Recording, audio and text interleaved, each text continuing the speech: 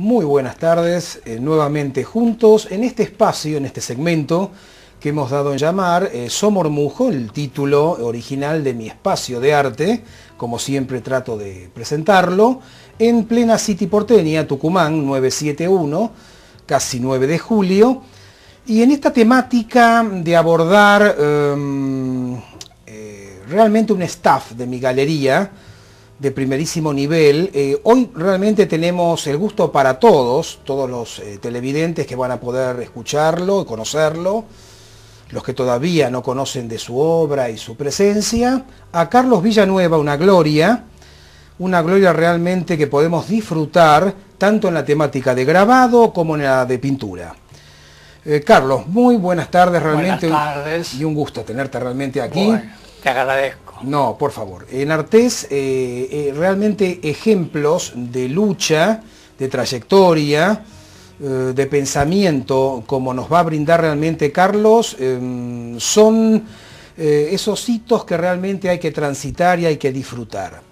Carlos, para que los televidentes tengan una, una idea inicial, un flash inicial, ¿cómo podemos dar una reseña en breve de tu comienzo, de los maestros que más han influenciado en ti, y luego vamos a ir abordando la temática, ya que dominas las áreas del grabado y la pintura, la temática de mm, qué tipo de composición, cómo definís realmente tu, obra, ese pasaje, los maestros que influenciaron y el estilo de tu obra. Bueno, los maestros que, que influenciaron en esa época, que hoy evidentemente, desgraciadamente ya no están, estuvo, este, por ejemplo, Fioravanti, estuvo este, eh, Fioravanti, Sirio, que fue el, ilustrador de, la obra de,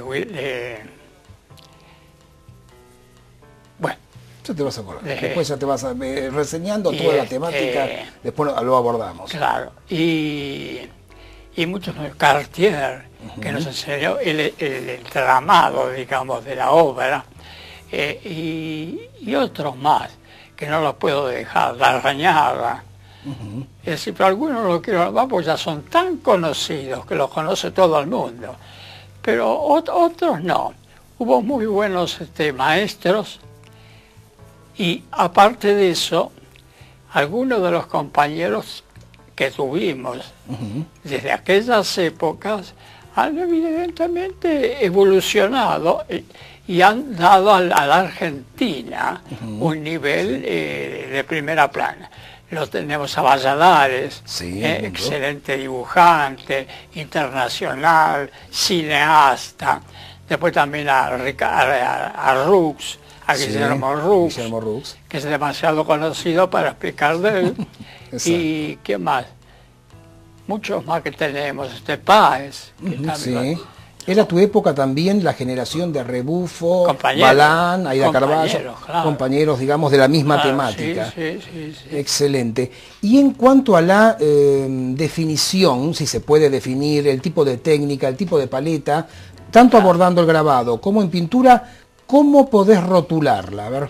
Bueno, la pintura mía, eh, la pintura, eh, era semiabstracta, es decir, yo partía de la realidad y la ibas trayendo, componiendo, tomándole, dando texturas que incluso se pueden ver y que fueron evoluciones que hicimos. y después, en el grabado, ya es otra cosa totalmente distinta. Yo hice en grabado aquellos que me titularon el de la línea blanca, porque para no usar tanto gris, empezar a hacer la línea dentro de la figura. Y si lo comparamos con la, digamos, con la literatura, podemos decir que es una, un grabado narrativo. Ah, ¿Te das cuenta? Porque vos vas eh, en distintos espacios vas narrando lo que está, lo que sentís o que dicen las algunas obras. Algunas obras. Como podemos observar, las cámaras lo están definiendo, tanto una obra en grabado, tanto una obra al óleo, de Carlos, bueno, van definiendo también un contexto social de la época, que tiene mucho también, y sé que tuviste el placer el deleite, no solo de viajar por el mundo, sino también de conocer muchos centros, en el caso de grabado, como puede ser Estampa, en España. ¿Cómo puedes dar un bosquejito de Estampa? Estampa debe hacer más o menos 12 años que, está. Y cada, cada año ha ido evolucionando más. Pero, ¿cómo llegué yo a Estampa? Resulta que yo estaba en el círculo catalán haciendo una muestra individual, pues que me habían invitado, conocían ahora me invitaron, que estaba en Madrid, y Estampa está en Madrid. Entonces vino eh, una de las galeristas de Buenos Aires, la de Hoy en el Arte, Hoy en el Arte, y me invitó a participar. Y desde el año próximo, es decir, desde el 1900 96, 98, hasta el 94, hasta el 2004 yo estuve exponiendo en estampa. Después ya no, es decir, esta eh, perdió, digamos, la, la fuerza, no porque no tenga fuerza, sino porque fueron cambiando los temas. Lo fueron cambiando de lugar y entonces es bastante inaccesible. Y se les ha ido la mano la parte económica. Claro, digamos los costos operativos eran... La venta se vende, se vende bastante, evidentemente. Eh, vos sos testigo que, que mi mujer vendió 11 obras en estampa, que vinieron de, de donde es, de, Málaga, de Málaga, vinieron de Málaga y compraron 11 obras. Primero vino el padre, que era profesor, después hijos, y se vendió, se vendió. Es decir, que el público europeo, para todos los que nos están escuchando y viendo en estos momentos, el detalle es mm, más propenso a respetar el dibujo y el grabado en Europa, todavía acá cuesta un poquito más en cuanto a la, eso puede ser. al mercado. Cosa que llama la atención, que van con los hijos, Claro, claro, ya están eh, eh, impulsándolos. Lástima que lo fueron cambiando de lugares, algunos accesibles y algunos no tan accesibles, pero ahora están ahí en el parque eh, yendo para el aeropuerto, que, hasta ahora hace un par de años que está ahí. Pero cambió un poco España. Sí.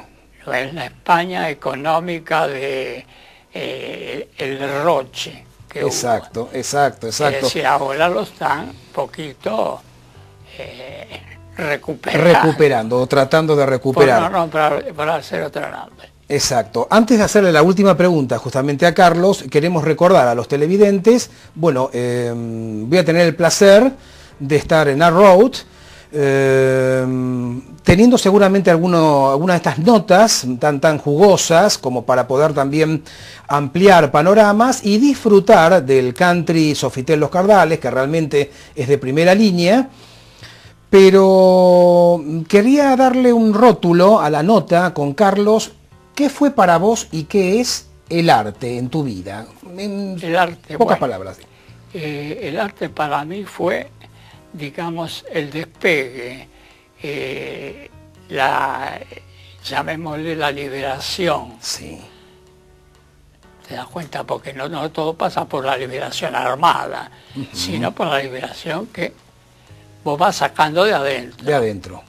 O sea, es un interior que se va enriqueciendo. Es un interior que se va enriqueciendo. Excelente. ¿Te das cuenta? Y, dime, dime. Sí. sí.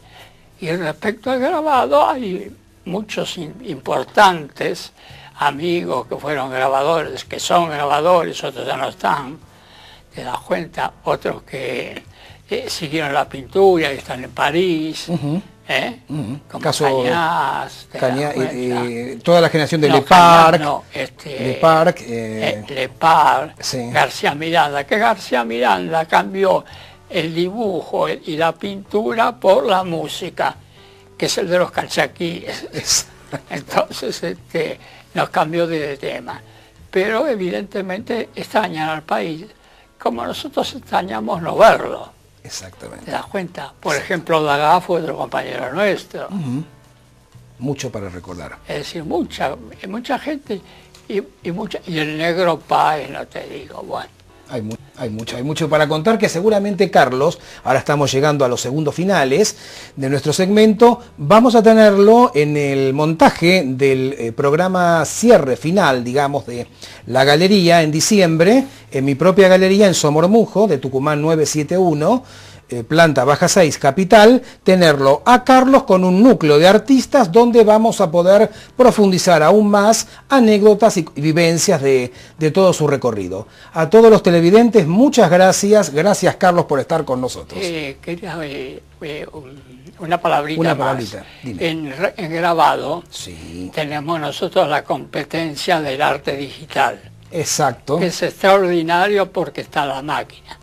Pero nosotros queremos que haya un premio, un premio, digamos, como hay en monocopia, en pintura, que haya un premio para eso, porque no el grabado no puede competir, es decir, el grabado de incisión y el de, el de los ácidos no, no podés conseguir porque podés agregarle en el arte digital otros chichecitos que no podés en, en la parte práctica normal, digamos. No lo podés hacer. Bárbaro, Carlos. Gracias por la postilla y continuamos seguramente eh, disfrutando en diciembre en mi galería para también tenerte presente con un núcleo de artistas. Muy bien, gracias. gracias a ti realmente y nuevamente a todos hasta una próxima oportunidad. Muchas gracias.